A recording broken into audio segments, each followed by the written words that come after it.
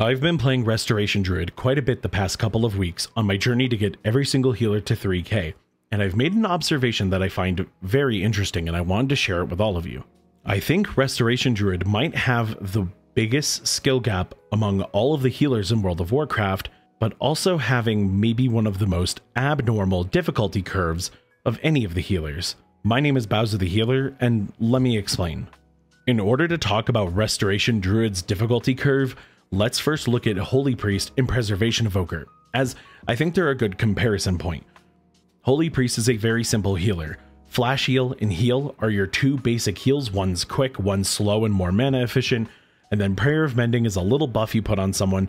When they take damage, it heals them and jumps to a new target, working in the background. So if you combine these three moves, you can heal a key. I mean it, you could probably start playing Holy Priest with just that knowledge and get a decent amount done and these skills will transfer with you as you get better. So there's a lot more to do and there's a ton to learn. Holy Priest has plenty of things for you to get good at, but you'll be one of the best Holy Priests in the world and you'll still be relying on your ability and knowledge of Flash Heal, Heal, and Prayer of Mending. Preservation of Evoker, on the other hand, starts a little more complicated. I could tell a new player to press Dream Breath and fully charge a Spirit Bloom and use Living Flames to heal people, but already you have to charge up moves, which might take some getting used to, and furthermore, they have different healing profiles, so they're better for different types of damage. That's not necessarily super important when you start, but not talking about echoes or temporal anomalies or any of that comboing business would be setting them up for disaster shortly into their playtime. So there's this learning curve you have to get over, right? This initial entry fee in order to play preservation. But once you learn some of the basics, you can roll with it. And even though it's a very difficult spec to play, you'll be able to make it pretty far with those skills. And if you become one of the best preservation players in the world, all of those skills will still be with you that you started learning on day one. Restoration Druid, on the other hand, is a little bit different. For an absolute beginner, Restoration Druid can be a little difficult.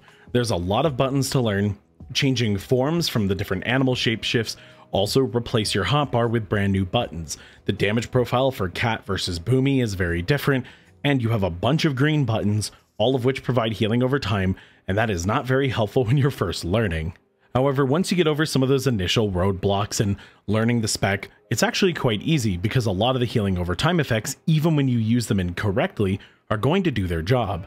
So this creates our first valley in the difficulty curve, in that we have a lot of different heals, and if we use them, we'll make it through the key. This allows for a wide range of players. I have had restoration druids that only know how to hit rejuve and regrowth, and that is the entirety of their healing for an, a whole key. They run out of mana basically every single pull or every other pull, and they contribute very little to the damage. Then I've also had restoration druids that never had mana issues, did tons of damage, and healed us without a single hitch. The potency on Restoration Druid moves is so good for early on in a season that you could probably heal an entire 18 key with a good enough group with just Wild Growth and Grove Guardians. I'm not even kidding. I think if you had just those moves and maybe Convoke the Spirits, you might be able to heal a key. Heck, I think even if you had Regrowth, Rejuve, and Wild Growth, that might be enough to heal a key. So a lot of players can get comfortable playing pretty inefficiently, and there's nothing really guiding them in the direction of playing more efficiently. If you look at Discipline Priest, you do need to set up atonements to get your healing out. Doing more damage means doing more healing through atonement. So you can learn kind of naturally by throwing down atonements and trying to do damage what setups got you more healing or less healing in a given instance But in Restoration Druid, unless you're really paying attention to those meters, you don't really feel the difference watching all the health bars go up differently, because as long as there's heal over time effects, the health bars will be getting pushed up. And then you hit your first mid-level wall, when you want to start healing bigger keys and carrying harder to carry players in pugs or your friends, or whatever the case may be, and you, you just can't get away with playing inefficiently. The Mastery on Restoration Druid, the every single heal over time effect applied by the Druid increases the healing received, that ramping healing effect is very, very strong, and if you can utilize it correctly, you can get a ton of healing done and a ton of priority target healing. By putting a life bloom on yourself, you obviously increase the speed of your heals, and if you put a life bloom on someone else or a life bloom on yourself, it always counts for three stacks of your mastery. So this means, let's say you hit a wild growth, giving everyone some mastery, And then everyone standing on top of your efflorescence, so that's another stack of mastery. You and one other homie can have five stacks of your mastery in two GCDs. That's pretty powerful, all things considered. And then if there's still additional healing need to be done, you could hit Rejuve or Regrowth to really add on top of that already existing heal over time effect and top someone off pretty quickly. But what I noticed when I was playing it was that I was pretty flustered as the key difficulty got harder. This is mostly back last season when I first started learning it, but if you don't learn to play efficiently, if you don't learn how to start those heals quickly and at the right time, you can fall off and fall into a bit of a problem where you're trying to catch back up healing when you could have been ahead with a little bit of planning. But once you get the flow down, you can start fitting in your damage and you can start moving between healing and damage pretty seamlessly. It's a very fun experience. So it goes from being hard to start, a valley, and then there's a bit of a bump where it gets hard again as you're trying to learn how to really master the spec, utilize your mastery, and set up your heals for bigger situations. And then I'll be real with you, once I was just doing 20s, and I was pretty confident in the spec, it became easy again. And not easy in that I wasn't trying very hard, but that it was kind of relaxing almost. I was able to play the spec without thinking super hard. I had my routine, I knew how to fix problems, and I had a flow to it that was ultra satisfying. But then I entered my first 24 Waycrest, and it was a pug group that I found, and we wanted to give it a shot. And while we ended up timing the 23, the 24 failed because I was simply not prepared for the amount of planning all of a sudden I was playing Discipline Priest, and this is where the, the next big mastery hill seems to be with Restoration Druid. You have to set up before mechanic goes off. So let's talk about one of the witches, the one that casts Etch and the other curse spell. So let's say the Etch is about to come out. You need to make sure that your efflorescence is already on the ground and that you have a life bloom already ticking on yourself. Then, as the spell comes out, I like to cast Wild Growth. This is going to give everyone a heal over time effect for any extra things that are happening that I can't quite attend to at the moment, but it will also let me get a confirmed one more stack on whoever gets targeted. Then I can react to who gets targeted or simply check who Etch is being cast on and give them a life bloom. That'll put them at 5 stacks of my mastery, but they might still be dying quite harshly. So then you can use a life bloom to give them some upfront healing and give them one more stack of mastery. And if they're still taking a little too much damage, you have a few options. You could go for, say, a Swift Mend or Nature Swiftness into another regrowth. You could be hitting your Iron Bark to give them a bit of a defensive if, say, they don't have a defensive themselves. And that Swift Mend will definitely proc for a ton of healing because of the mastery that you have stacked on the target, and then will be its own heal over time effect, so you might not have to do too much more to get them to the end of the heal. Then afterwards, there's going to be a curse that gets cast. So now you need to dispel the curse, refresh the life bloom on yourself, make sure your efflorescence isn't about to fall off, and get ready for the next heal. You might have a moment here to do a little bit of damage or to drop some of your damage over time effects, but then you're going to be back into another round of damage.